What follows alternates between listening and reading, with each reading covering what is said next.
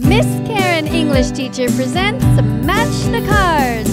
Get up off the couch, pick up the little pouch, open it and take out the cards that are inside. Place the questions on the left, all in a row,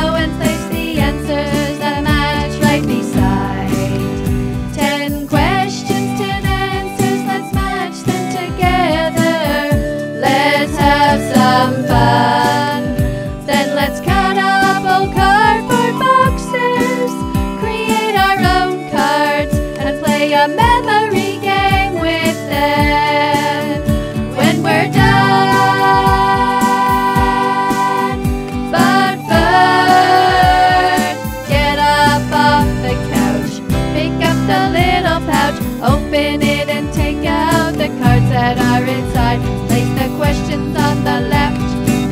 All in a row and place the answers that match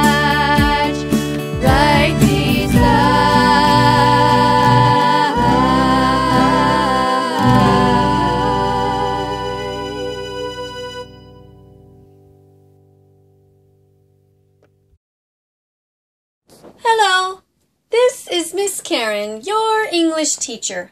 Today we're going to play a game called Match the Cards. Let's learn how to ask and answer questions based on Miss Karen's lesson. A proper apology has three parts. If you've never read the lesson or the stories that accompany the lesson, you can go to MissKarenEnglishTeacher.com and you can watch the lessons there. Here's what one of them looks like. This is a story that Miss Karen wrote about Little Rabbit and White Rabbit stole the lollipop from Gray Elephant. In the end, she gives it back. Miss Karen is going to give you a pencil case like this, or a little case with no pencils in it, but just cards. And inside, there are 10 questions and 10 answers. Your job is to take them all out like this and line up the questions. You can tell they're questions because they have doink question marks at the end. You put all the questions here in a row, all 10 of them, and you put the answers over here. Now, your job is to try to match them. While you do that, some of the members of the Happy Zoo family are going to watch us do that. Right, guys? Yeah. All right, here we go. What is the first step to a proper apology? What is the first step? Let's see. Hmm. Well, I see here it says the second step is, but that's not what we're looking for. Oh, here it says the third step is, but we're not looking for that. We're looking for the first step. The first step is, I'm sorry that I. That's perfect. Let's put that over here. And if you hurt somebody, you say, I'm sorry that I hurt you. If you push somebody, then you say, I'm sorry that I pushed you. If you excluded somebody, you say, I'm sorry that I excluded you. What is the second step? Let's look over here. We just saw that card. Do you guys remember? The second step is it was wrong because let's put that over here. Now, let's say that you stole something. You should say it was wrong to steal because or it was wrong to be mean because and then you give your reason. What is the third step of a proper apology? The third step or the third part, what is it? Do you see it? The third step is, in the future I will. That's when you're going to tell the person how you're going to change in the future. In the future I will. What can you do differently? How many steps does an apology have?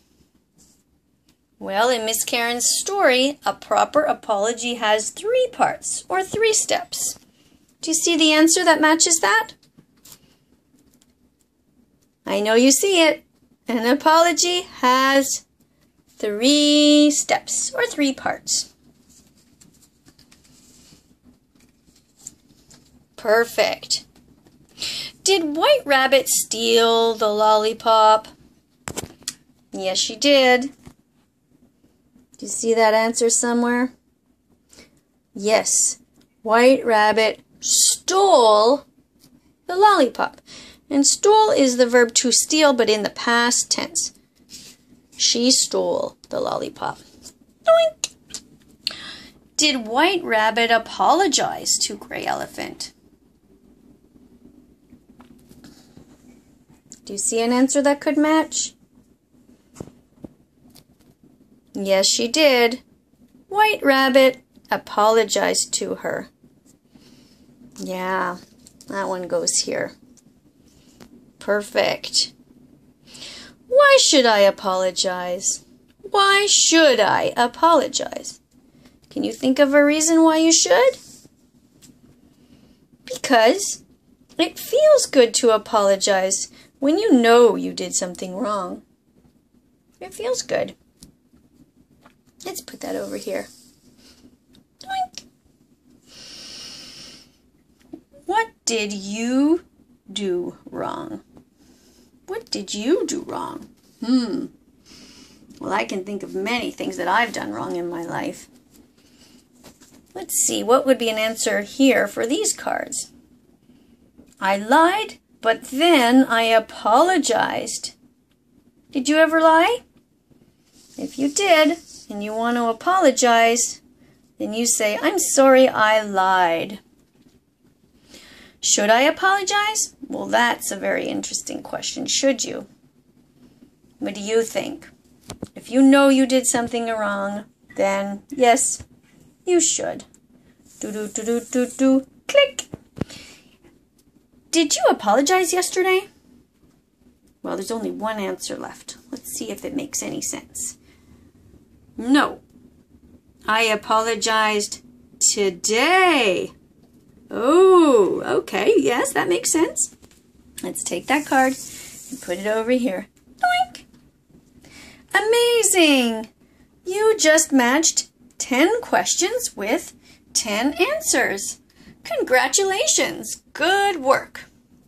Now it's your turn to create your own Match the Cards game. First, you should write your questions and answers on another piece of paper a white paper with a pencil and have an eraser handy so that you can correct your mistakes. Use a dictionary. And when you know it's all perfect, you can get your cards like this by cutting up empty Kleenex boxes or cereal boxes and you write your questions and answers on them. And then you're ready to play. You can exchange your game many times with different friends in your class. You can also play a memory game if you want to. For more information, you know what to do. Go to MissKarenEnglishTeacher.com. And when you're finished your projects, you can videotape them and send them to MissKarenEnglishTeacher at gmail.com. It was great hanging out with all you guys. We'll see you soon. Bye bye for now. Woohoo! Miss Karen's spontaneous mini song. Everybody get up, it's time to move. Smile with your classmates, it's time to groove. You are the boss when it comes to your mood, so choose ooh, ooh, ooh, a happy attitude. Hooray, hooray, hooray,